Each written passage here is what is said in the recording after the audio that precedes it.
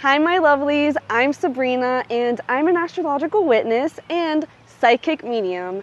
And I'm just strolling down this lovely neighborhood, passing out my pamphlets.